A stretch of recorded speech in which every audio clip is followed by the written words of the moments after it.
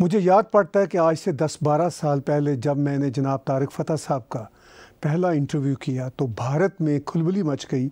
उस वक्त यूट्यूब भी एक नया नया इदारा था। उसको भी मर्ज वजूद में आया भी चंद साल ही हुए थे।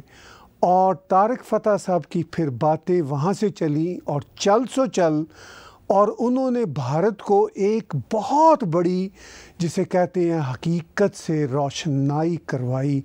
वो थी कि यहाँ पर औरंगज़ेब की सड़क का नाम है। तैमूर का नाम कैसे रखा जा सकता है बच्चे का? And so on so on और तारक फ़तेह जी, पहले भी लेजेंडरी हैसियत रखते थे, सारी ज़िंदगी जर्नलिज़म की पत्रकारी के अलावा कुछ नहीं किया।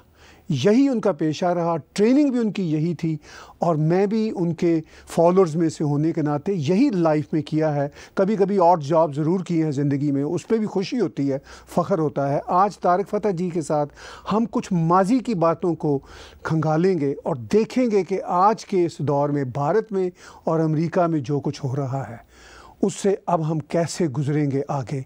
जनाब तारक फ़तेह साहब। जी सर वो दोस्त यार अभी भी वो पुराने दस बारह साल पुराने इंटरव्यू याद कराते हैं। जब जब आपका और मेरा मकसद सिर्फ़ और सिर्फ़ दिल की बात करना होता था। हाँ, हाँ, ठीक है? कभी आपकी ख्वाहिश नहीं थी कि मैं इंडिया भी इवन जाऊँ। आपको हाँ, मुझे इंडिया से मोहब्बत होती थी इसलिए कि हाँ, हमारी सिविलाइजेशन है। लेकिन हम अपने भारतीय बहन भाइयों को ख़ासतौर पर हिंदू बहन भाइयों को बताना चाहते थे कि यार कुछ उठो कुछ सोचो। हाँ। कुछ हाँ। जो आपके साथ सदियों से हो रहा है उसके बारे में कुछ करो भी सोचते तो हो और फिर हमारे सामने मोदी सरकार की पहली गवर्नमेंट बनी दूसरी गवर्नमेंट बनी। उस उस वक्त अपने आ, उनकी हुकूमत थी कांग्रेस की हुकूमत जी कांग्रेस की हुकूमत थी सर बिल्कुल। मतलब दस बारह साल पहले इवन यूट्यूब भी जो आजकल एक बहुत बड़ी कॉरपोरेशन है जिनके हाथ में हाँ हमारे भी वो हुए हैं बंद हो जाएगा आपका शो आपका शो बंद कर देंगे वो एक मिनट ठीक है ना नहीं नहीं नहीं हम उनसे कहेंगे रिक्वेस्ट करेंगे कि ये स्पेस देते रहें क्योंकि तारक फ़तेह जी ने जो जर्नलिज्म की है वही जर्नलिज्म है और उस जर्नलिज्म का मकसद ये था कि अपनी ओपिनियन भी दें और दूसरे की ओपिनियन भी सुने। सर जी इस वक्त जो भारत है जहाँ से हम ख़ास बातचीत शुरू करेंगे जो आपकी स्ट्रगल से आपके मैसेज से एक खुलबली मची आज का भारत कोविड के ज़माने से गुजरता हुआ आपको कैसा दिख रहा है? देखिए, भारत का एक सेंट्रल रोल है ह्यूमन सिविलाइजेशन में। ये ये ये एक सोचने वाली बात है कि हर आजकल का जो मुल्क है वेस्टर्न सिविलाइजेशन देख लीजिए, इस्लाम का जो ग्रिप है मिडिल ईस्ट में, उसको देखिए, चाइना को देखिए तो Bharat on its own Hindustan जिसे कहते हैं हम, वो अपनी, अपने तौर पे एक पाँच छः हज़ार साल पुराना सिविलाइजेशन है, जहाँ से दुनिया की हर सोच निकली, संस्कृत जहाँ हुई, उस जबान कहाँ कहाँ पहुँची, उससे सीखने के लोग कहाँ कहाँ से आते थे, और अभी रिसेंटली यानी तीन चार सौ साल पहले तक यहाँ की यूनिवर्सिटीज़ जो थी, नालंदा ख़ास तौर पे टक्शिला ये सब लोग आते थे हिंदुस्तान और हिंदुओं से सीखने। और इसलिए नहीं कि हिंदू खुद कहता था कि वो हिंदू है। उसको तो नाम भी बाहर वालों ने दिया, वो तो सिंधु की मिस प्रोनाउंसिएशन हिंदू हुई और फिर हिंदुस्तान बना, ये सब। आज के दिन में वो अपना वो रोल अदा नहीं कर पा रहा है हिंदुस्तान।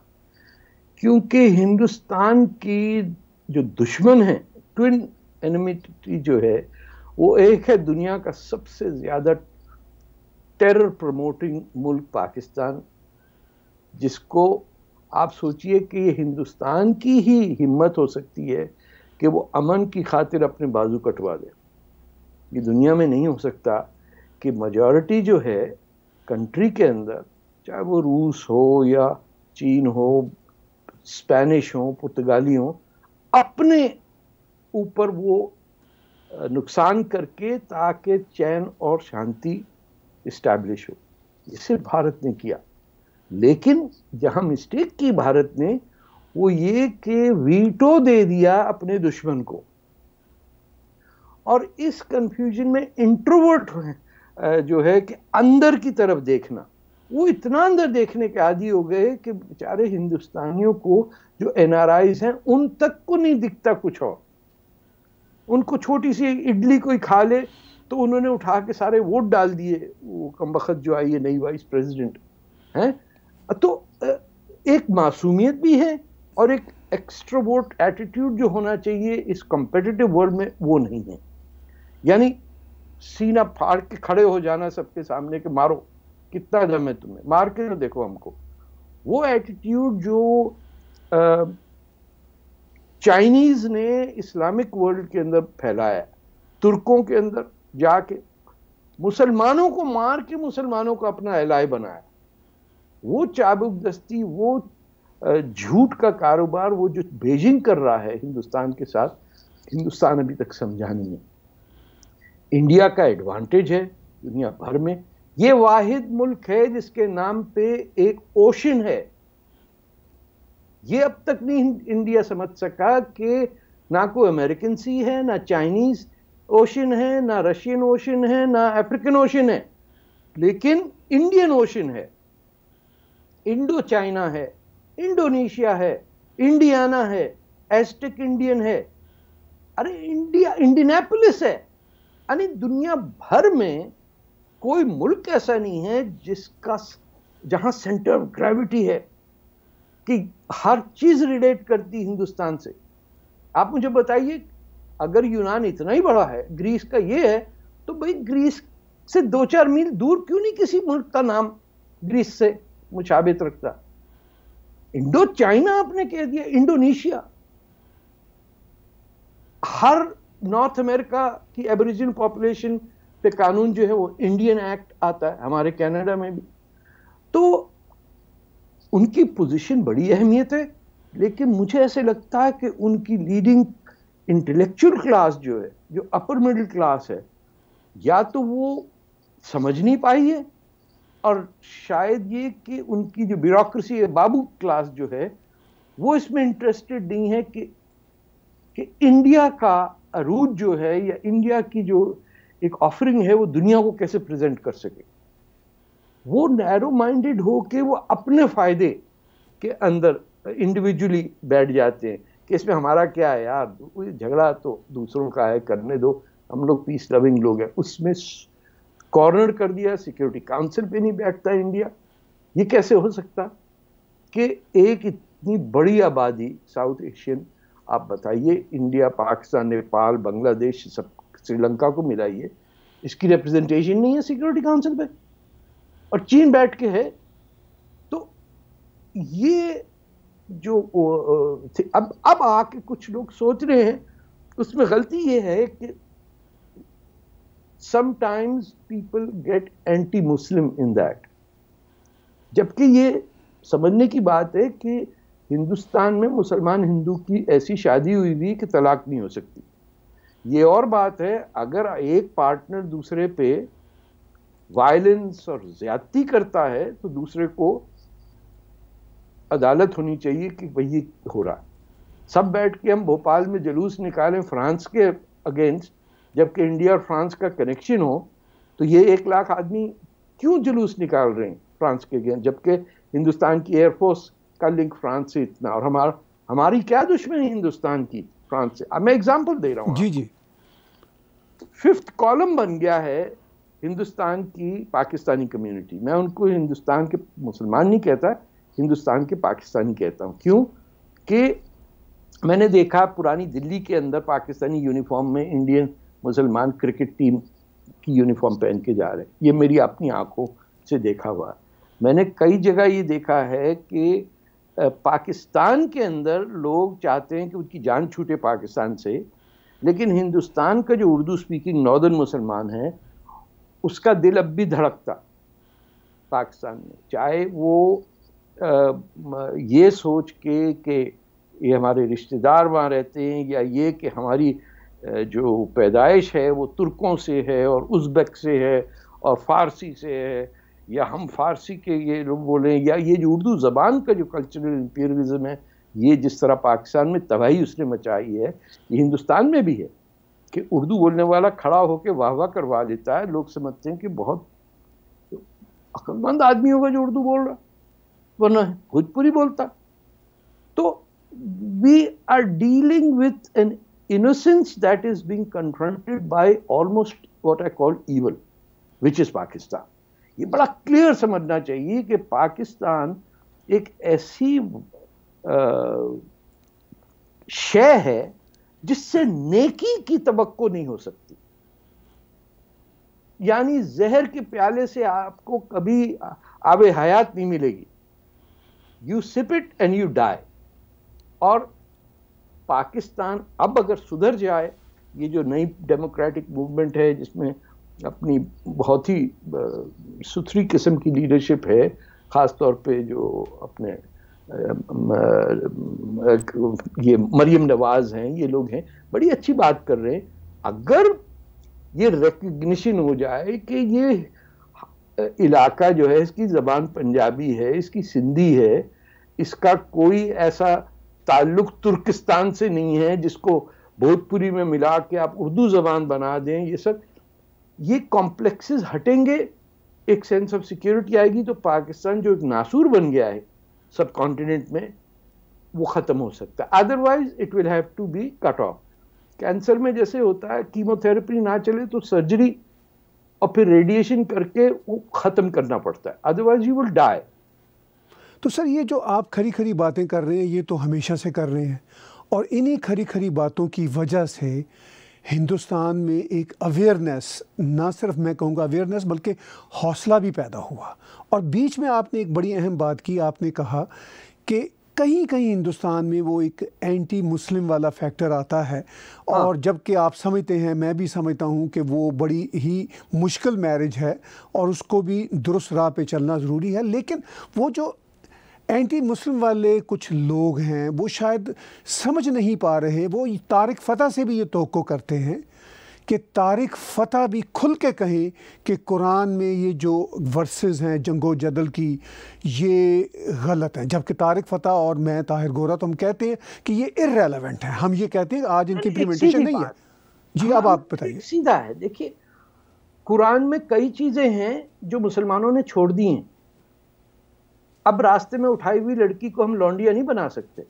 इतने जूते पड़ेंगे मोहल्ले वालों से और अकवा मुतहदा में और इंटरनेशनली कि the Muslim law permitting the kidnapping raping of wayward women caught in the act of war is against the laws of war. लेकिन सर सिंध में तो हो रहा है ये। नहीं नहीं सिंध में जंग नहीं हो रही। सिंध में तो हिंदू लड़की को पकड़ के मुसलमान कर रहे हैं ना। ये जो अरबों का जो लॉ था पोस्ट इस, इस्लाम जिसे मैं कहूँगा रसुल्ला के कुरान से भी रेफरेंस लोग लेते हैं शरिया में कि एक आ, एक मर्द जा रहा है और उससे सेक्सुअल अर्ज़ हो गई तो कोई लड़की मिल जाए उससे वो जना कर सकता। अच्छा ये तो रुक गया ना। अब तो नहीं चल रहा कि किसी कंट्री के अंदर लॉ हो तो हमने अबेंडन किया है वो। कुरान में स्लेवरी अलाउड है। कि गुलाम के साथ क्या करो? क्लियर कट स्लेवरी इज़ की डायरेक्शंस हैं कि स्लेव को क्या करना है आपने। लेकिन है कोई मुसलमान इस वक्त जो स्लेव स्लेवरी में बिलीव करता हो? मॉरिटानिया, लिबिया, विबिया में अब भी बेचारे जो सियाफाम, काले अफ्रीकन हैं, उनको अब भी कुछ अरब जो हैं, वो स्लेव ट्रीट करते हैं। उनको तो नाम ही उनका रखा भाई आप आबदी जिसका मतलब है, ओए मेरे खिदमतगार। हाँ खिदमतगार इधर आओ। बिल्कुल इट इज़ अ कंटेम्प्ट बंद हो गया ना आउटलो हो गया ना।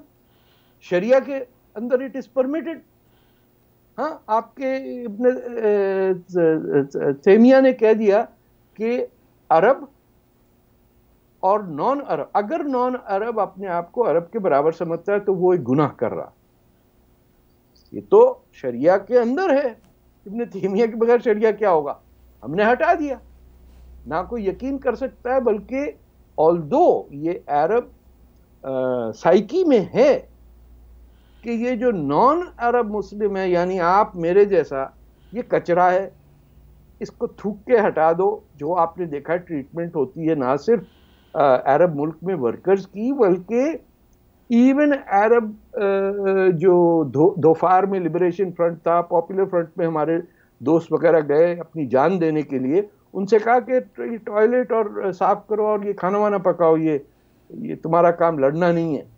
आइसिस में भी यही हुआ कि जब औरतें बट रही थीं तो उन्होंने हिंदुस्तानी पाकिस्तानियों से कहा कि, ना भाई, ये औरत तो अरब है, ये तुम्हें मिल ही नहीं सकती, तुम जाके ढूंढ के कोई नॉन अरब औरतें लाओ। तो फिर चेचिन लड़कियों को पकड़ा, ये ये सारी चीज़ें शरिया में है। But the point is 99 percent of Muslims would not think of doing it तो बजाय इसके कि इशू इस्लाम पर डिस्कस करें इशू मुस्लिम्स का है। आप क्या कुरान का एडिशन नया ले आएँगे? ऐसे तो होगा नहीं। बड़े लोगों ने ट्राई कर लिया। और फिर तो बाकी तो, किताबों के बाइबल का भी एडिशन चाहिए होगा आपको नया। नहीं वो तो किंग जेम्स एडिशन एक निकला। निकला ठीक है। सबने तय किया। अब अंदाज़ा लगाइए झूठ जो है हमारे साथ जो हो रहा है।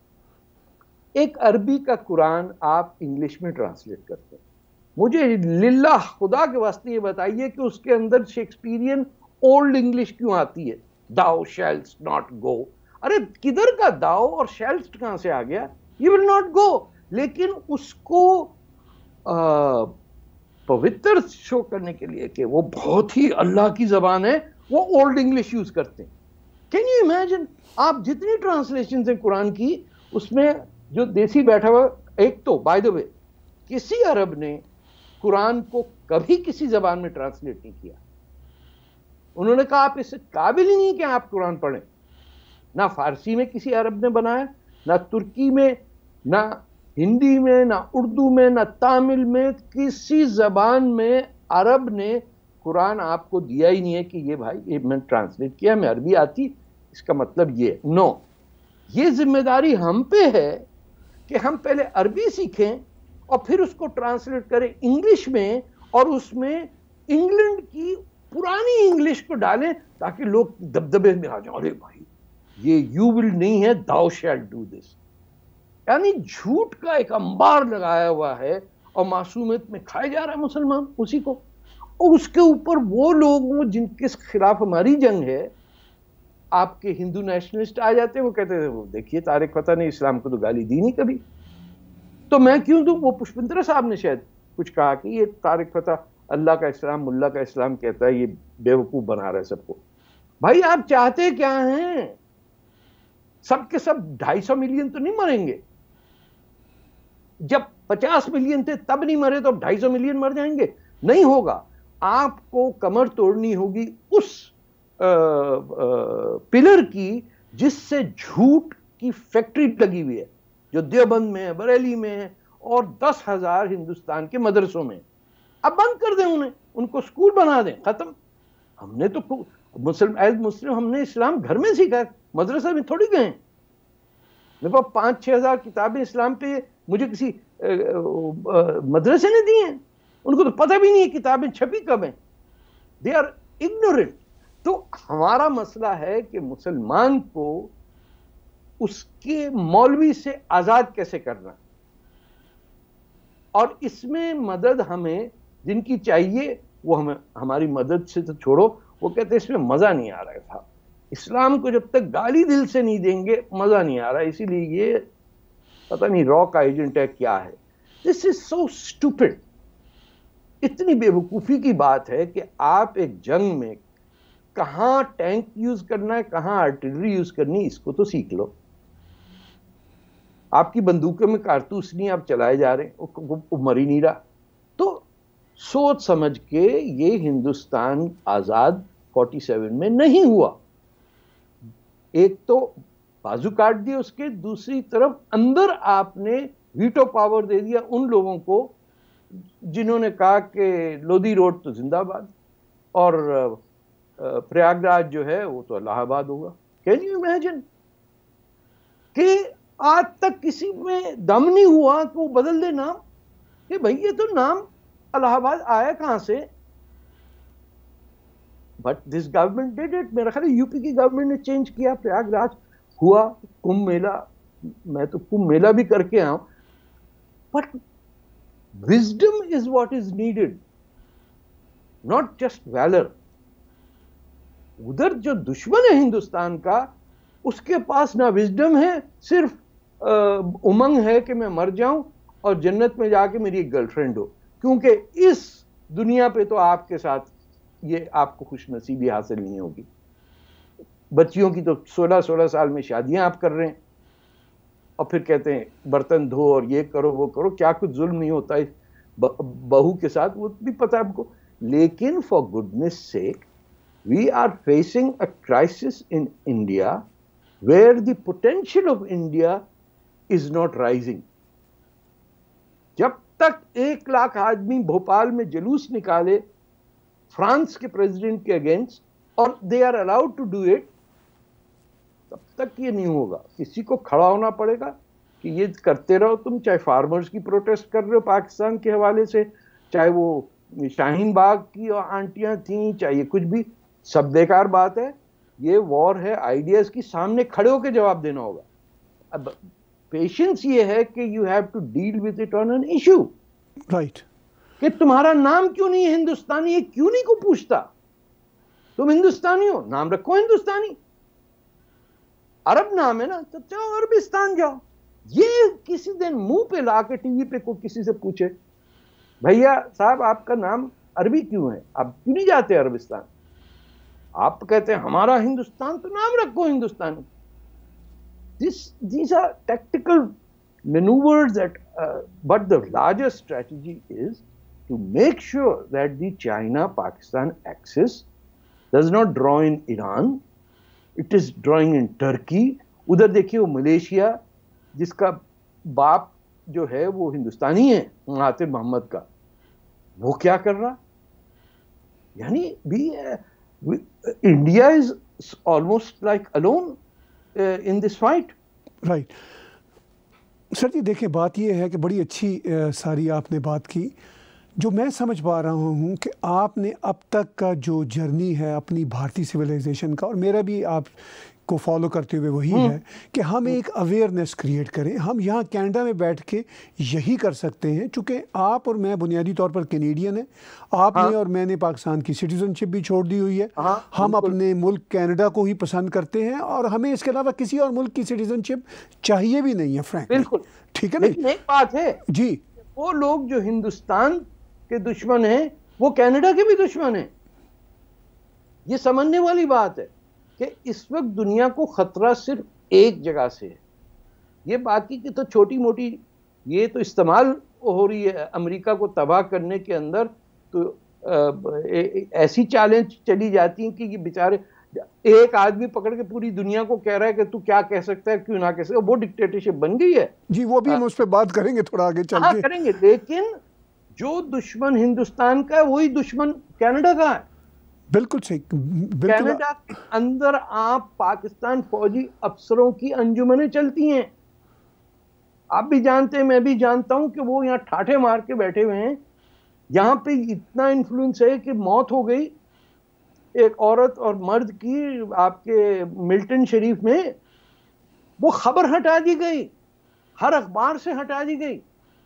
कोई मेन स्ट्रीम मीडिया कह नहीं सकता है कि who are these two people who died in in that garage were they married no they were not did they have husbands and wife yes they had was there a party going on did was drugs involve कुछ ना बोलो अपनी community के against या फ़ायदे। में अब पता चला कि पुलिस के अंदर भी हैं। आपकी जो हॉल्टन पुलिस है, उसके अंदर भी हमारे भाई लोग बैठे हुए हैं कि क्या छपना है और क्या नहीं छपना तो हमारी दुश्मनी जो है, जो जो इंडिया को तंग कर रहा है, वो इस मुल्क को भी तंग कर रहा है। मामूली बात नहीं है, आपके हाउस ऑफ़ कॉमन्स में यानी there are groups of MPs जिनके मसले हिंदुस्तान के तो अगेंस्ट हैं ही हैं कनाडा के अंदर भी वो अपने आप को एज ए कनेडियन नहीं देखते but as some byproduct of Canadian देखते हैं। चाहे वो खालिस्तान का हो या पाकिस्तान के सात आठ एमपी हो वो। अलग मिलते हैं कॉकस है उनका अलग। एक मुस्लिम कॉकस कहलाता है दूसरा तो खैर स्टेब्लिश्ड है उनके तो मिनिस्टर बैठे हुए हैं तो we face the same danger in Canada तो हमारा सिर्फ़ ये मकसद नहीं है कि हम हिंदुस्तान की बात करेंगे तो हम वहाँ से चल के पाकिस्तान के अजाब से आके यहाँ कहना है पता चला यहाँ वो आईएसआई पहले बैठी हुई है।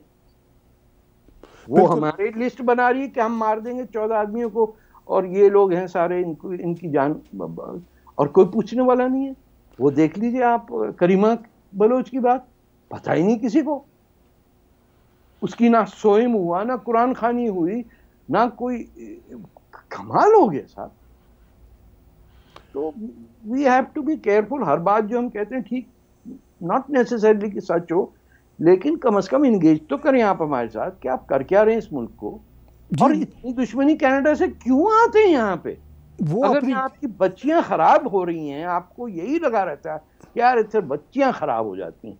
पता नहीं ये को टायर है ये को गाड़ी है ये पंखा है कंप्यूटर है या बेटी है।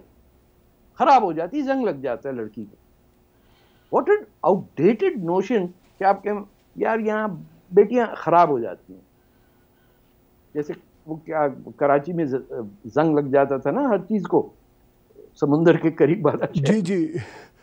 नहीं साइकिल नहीं चल रही है जंग लग जाता जंग लग जाता सर जंग लगने की बात हो रही है तो आपने बड़ी अच्छी बात की कि हमारे ख़ास तौर पर जो भारतीय बहन भाई हैं उनको फोकस रखना चाहिए क्योंकि जो काम आप और मैं कर सकते थे हम वो कर भी चुके हैं और करते भी रहेंगे जब तक हम जीते हैं हाँ। लेकिन उनको अपनी स्ट्रेटजी समझनी चाहिए उनको आपसे मुझसे ये तो हो कि हम कोई दुनिया में कोई इस्लाम को पता नहीं क्या रिन्यू कर देंगे इस नन ऑफ़ आर जॉब हमारा काम ये है कि हम एक अवेयरनेस क्रिएट करें जो हम करते रहे हैं और करते रहेंगे। एब्सोल्युटली और हमें उसमें कोई इंटरेस्ट भी नहीं है ना हमने एक एक में बड़ी अच्छी मार्क्स से मार्क्स की एक लिखाई में है कि जिन लोगों का कुछ नहीं दुनिया में सिर्फ़ मज़हब है उनसे वो मज़हब छीन रहे हो तुम यार। This is Marx on religion एक एथियस एक फिलोसफर कह रहा है कि ये तो वर्किंग क्लास गरीब लोग दुनिया में हर जगह है। सोमालिया के एक आदमी जो ऊँट पे चला जा रहा है बेचारा, उससे कह रहे भाई, सब तेरे पास कुछ भी नहीं। अब तू दुआ कर रहा है अल्लाह से, लेकिन हम वो भी ले लेंगे तेरे तो आपका फलसफा तो ग्रेटा से ऊँचा चला जाएगा। आप एकदम थिंकर बन जाएँगे, लेकिन उस बेचारे गरीब आदमी को जो पानी नसीब नहीं है, उसको पानी नहीं आप पिला सकते थे तो भी ये एक्सपेक्टेशन इससे आगे बढ़े सर ये तो जंग हमारी अपने भाई बहनों से भी रहती है तो नहीं वो बिल्कुल आप ठीक कह रहे हैं। वो वो ये अपनी जगह पे एक है सिर्फ़ एक एक डायलॉग है जो उनके साथ भी रहना चाहिए। और उनको भी ये बात समझ आनी चाहिए कि मसले बहुत बड़े हैं। वो इन पैटी इश्यूज़ में ना उलझ के रह जाएँ। और वो जो वहाँ के पैटी इश्यूज़ हैं भारत के जो हल करना चाहते हैं अब बहुत सारे यूट्यूब चैनल आ गए हमें खुशी होती है कि हम हाँ। हमारे उस डिस्कोर्स को आगे लेकर चल रहे हैं जिसका आगाज़ किया था। वो बिल्कुल लेके चलें वो वहाँ उन्होंने जीना मरना है वो ज़रूर हल करें। हम तो इनको एक बड़ा पर्सपेक्टिव दे सकते हैं जो हम दे रहे हैं अरसा दराज से। सर मैं इससे पहले कि अमेरिका की सूरत हाल की तरफ़ आऊँ मैं थोड़ा सा और बात एक रुख के हवाले से करना चाहता हूँ। इस वक्त जो भारत है कोविड के ज़माने में हम अभी भी जी रहे हैं। आपको क्या लगता है क्या तो हैं कि आगे कैसे इवॉल्व होंगे वहाँ के हालात? हिंदुस्तान में या जी हिंदुस्तान में। देखिए बहुत बड़ी पॉपुलेशन है। अपना हिंदुस्तान ने खुद वैक्सीन भी निकाल लिया है, मैन्युफैक्चर भी कर रहे हैं लाइसेंस पे। बहुत बड़ा प्रोजेक्ट है। ये चीन ने, मैं सौ फ़ीसद तो नहीं, बट निन्यानवे फ़ीसद तो कह सकता हूँ बायोलॉजिकल वॉरफेयर है। चाइना ने घर बैठे हुए वेस्टर्न इकोनॉमी और हिंदुस्तान को तबाह करने के लिए एवेन्यू यूज़ किया। यानी वो वायरस जो वुहान में था, वो तेहरान पहुँच गया, लेकिन बेजिंग नहीं जा सका। ये ऐसा था कि वायरस जो है, उससे कहा जाए कि भाई, हमको माफ़ कर दे यार, तू जाके अमेरिका को तबाह कर दे तो अमेरिका और ब्राज़ील में मर रहे हैं लोग, और चाइना के अंदर किसी को कुछ नहीं हो रहा। वो अपने कीड़े मकोड़े मिला के, खा के, पता नहीं, चूहे खा रहे हैं ये जो होते हैं चिमगादड़ उसका खा रहे हैं, उसकी एनिमल डिजीजेस पास ऑन हो रही हैं। ह्यूमन बींग्स की एक थ्योरी ये है वेट मार्केट्स की। दूसरी ये कि वहाँ इंस्टीट्यूट जो था वायरल डिजीजेस का, वहाँ से हुआ। जो भी हुआ China is responsible for this tragedy and should be confronted लेकिन चाइना तो हर एक को खरीद लेता है।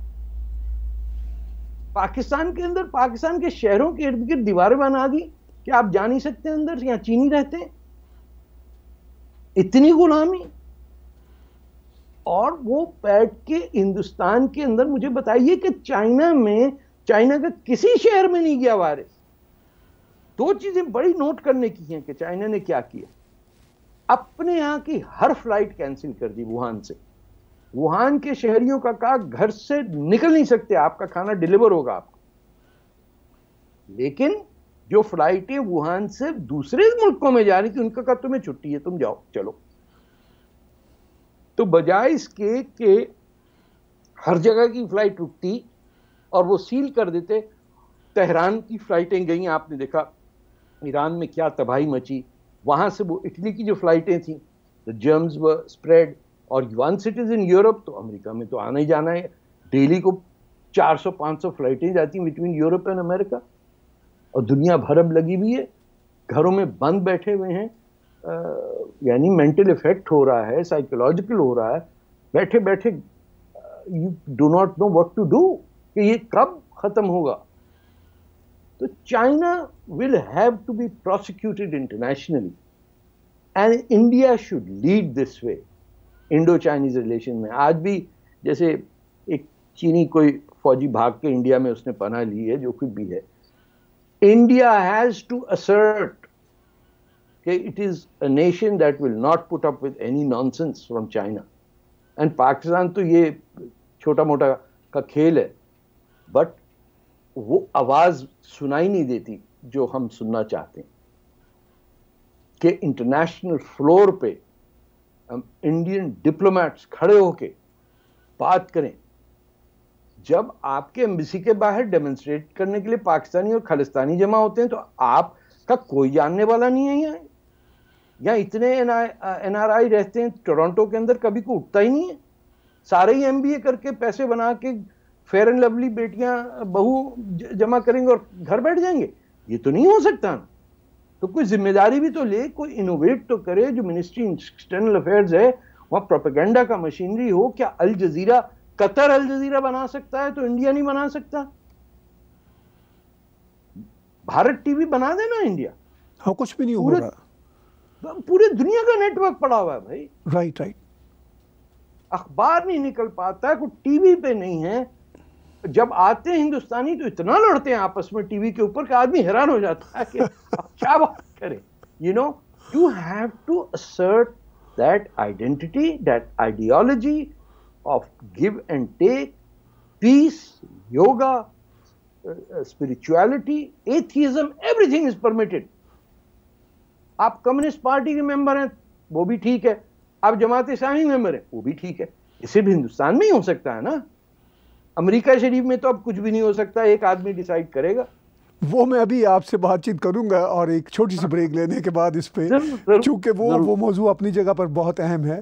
तारक फतेह जी ने जो बातचीत की ब्रेक से पहले मैं उसको यूँ कंक्लूड करूँगा। बड़ी अच्छी इन्होंने बातचीत की। इन्होंने खुल के कहा कि हम तो बड़े लेवल की अवेयरनेस क्रिएट कर सकते हैं और सजेशन दे सकते हैं। जो कुछ करना है भारतीय सरकार ने और जो भारत में रहने वाले भारतीय 1.4 बिलियन लोग हैं उन्होंने करना है। हम तो यहाँ से बैठ के वेल विशर हैं, अच्छी बात का पैगाम उन तक पहुँचा सकते हैं। छोटी सी ब्रेक लेते हैं, वापस आएँगे तो बातचीत हम करेंगे यूएस में जो कुछ हो रहा है। वो अब सिर्फ़ यूएस का मसला नहीं है, पूरी दुनिया का मसला है। हमारे साथ जुड़े रहिए।